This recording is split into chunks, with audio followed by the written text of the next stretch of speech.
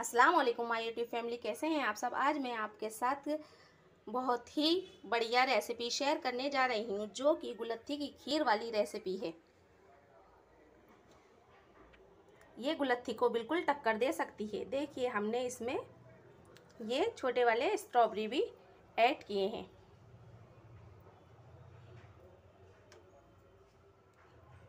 और silver work से हमने इसको गार्निश किया है और थोड़े से ड्राई फ्रूट से।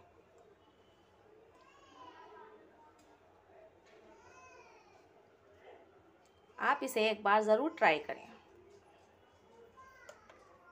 दो लीटर हमने दूध लिया है, फुल क्रीम लिया है, ये इसे बॉईल करने रख दिया है। अब इसको इसको बॉईल आने देते हैं।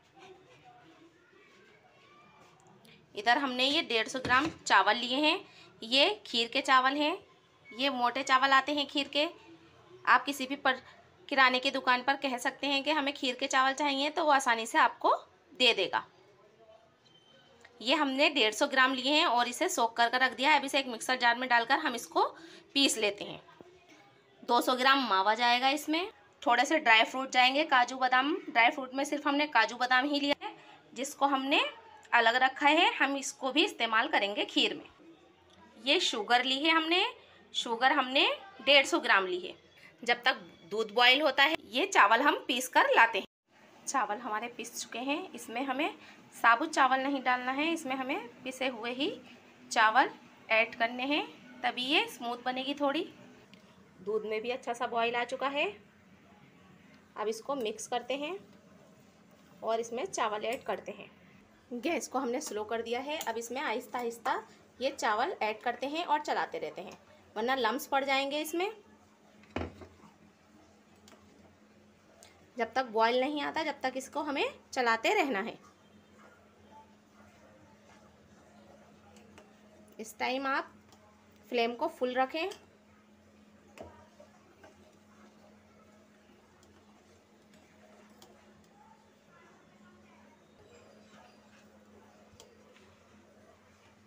अब इसमें बॉईल आना स्टार्ट हो चुका है। इसमें फुल बॉईल लेते हैं और फ्लेम को बिल्कुल स्लो कर देते हैं।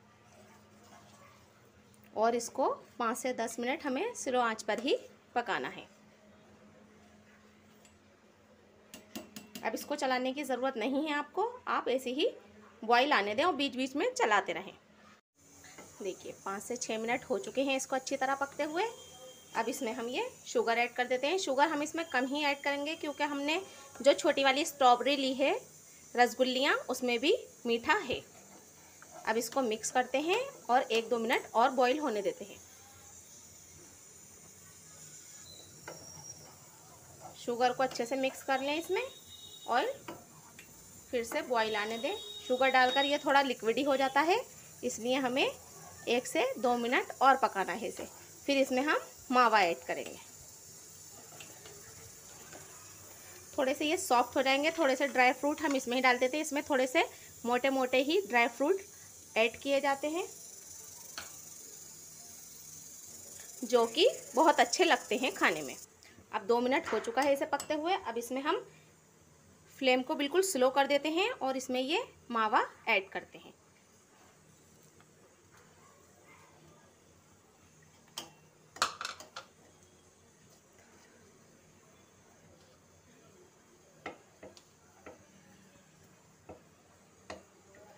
तरह से कीजिए, आप मावा अच्छे से मेल्ट हो जाएगा इसमें। इसको ज़्यादा पकाने की ज़रूरत नहीं होती है, क्योंकि चावल भी हमारे सोख किए हुए हैं और इसमें पक चुके हैं। और हमने पीस जो साबुत चावल लगता है, उसको ज़्यादा पकाने की ज़रूरत होती है, जब तक कि वो गल ना जाए। ये पिसे हुए चावल हैं, आसानी से गल जाएँगे। देखिए, हमने मावा इसलिए मोटा मोटा डाला है कि इसके ये मोटे मोटे से चंक्स रह सकें। बिल्कुल ये गुलत्थी की तरह हो जाए। वैसे तो शीर में पीस के चावल डालते हैं, लेकिन आप इस तरीके से एक बार खीर बनाकर देखिए, बहुत ही टेस्टी बनेगी, बिल्कुल गुलत्थी का टेस्ट देगी। बस इसमें एक बॉईल आ जाए, हम गैस को बंद कर देंगे और इसको ठंडा होने देंगे। फिर इसे सर्व कर कर दिखाते हैं आपको, और स्ट्रॉबेरी जो है, वो भी हम ठंडे होने के बाद ही इसमें ऐड करेंगे। उसको हमने फ्रेजर में डाल दिया है। बस इसमें बॉयल आ गया है फ्लेम को हमने बंद कर दिया है। इसको ठंडा होने के लिए रख देते हैं, जब तक ये रूम टेम्परेचर आता है। ये हमारी खीर रूम टेम्परेचर आ चुकी है।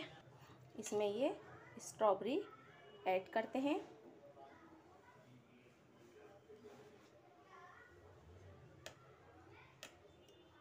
ये सारी ही स्ट्रॉबेरियाँ हम इसमें ऐड कर देंगे। ये सारी स्ट्रॉबेरियाँ हमने इसमें ऐड कर दी हैं। ये थोड़े से मिनट से इसको हम ऊपर से गार्निश करेंगे। इसमें आप मोटे मोटे ही ड्राई फ्रूट्स डालें।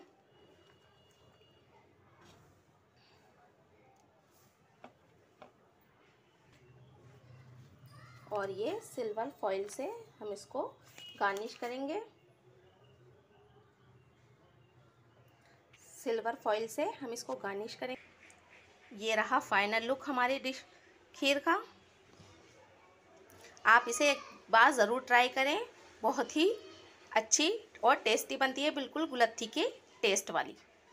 अगर आपको ये रेसिपी पसंद आई हो तो लाइक शेयर सब्सक्राइब करें। अल्लाह हाफिज़।